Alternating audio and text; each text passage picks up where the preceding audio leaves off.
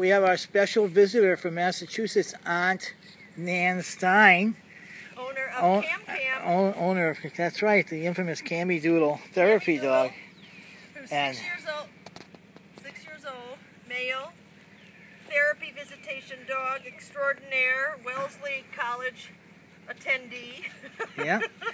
So Nan is down visiting in Durham and drove the hour and a half took, which took me two hours. to get to get here to get some puppy therapy. And yep, so there, puppy love, yep. And so there's, we brought out our F1B troop.